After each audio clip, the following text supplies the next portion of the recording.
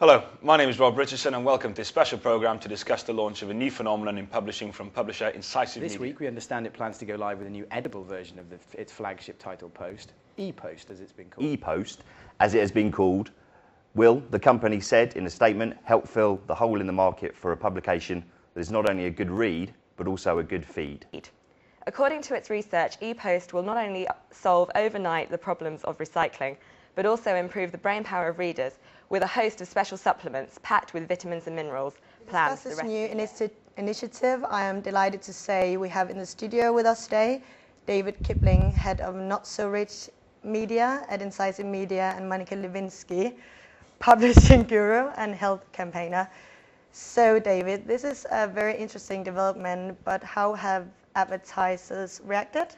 Uh, they've reacted very badly due to um, a spate of allergies uh, which were kicked off from some nuts that we put into the paper, which has been a little bit of a faux pas on our part, I have to admit. So, what do you think in general about Post? Do you find that it's an interesting magazine? The Post is one of those, the one brand that's missing off the super brands title.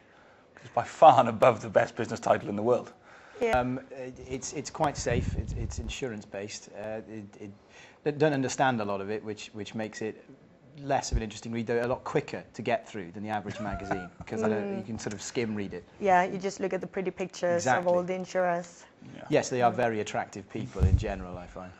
Initially, this was an Insurance Times initiative, wasn't it? But they, they, they aimed it mainly at the Green Party, which, as as I understood, was going quite well until uh, the entire readership was on a boat approaching whalers This is the got question we've all been waiting to ask. What do the events girls think of Tom's chest here? Um, I think it's very sexy. Very sexy. Yeah, it is. It's um, it sort of gives him sort of the man. Uh, Machismo. hood. Yeah, exactly. Well, the So jury really is like still it. out on whether it is real chest hair or he's just um, sort of quite into the machismo side of things, and in fact, So, David, this is a very interesting development, but how have advertisers reacted?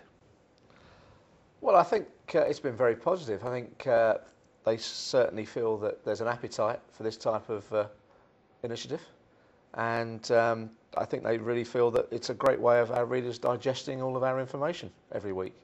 Fantastic. Thanks, thanks for that answer, David. Um, moving on to the other issue I'd like to bring up, which is Ugg boots. Um, I hate them. Monica, what are your thoughts?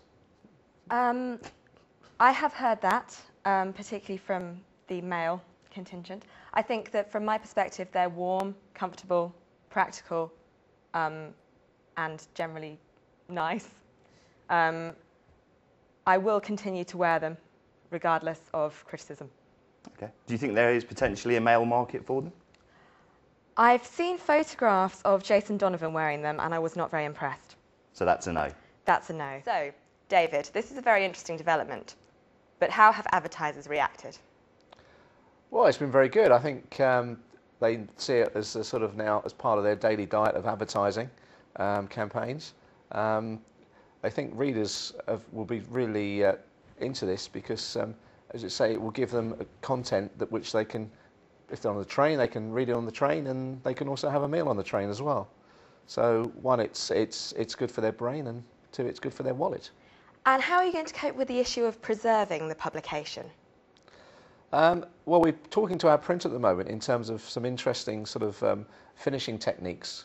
Um, and we're just making that decision soon to see whether it's going to be finished on a sort of a, a sort of a, a, a creamy sort of coating or possibly a, a chocolate dip. We're not sure.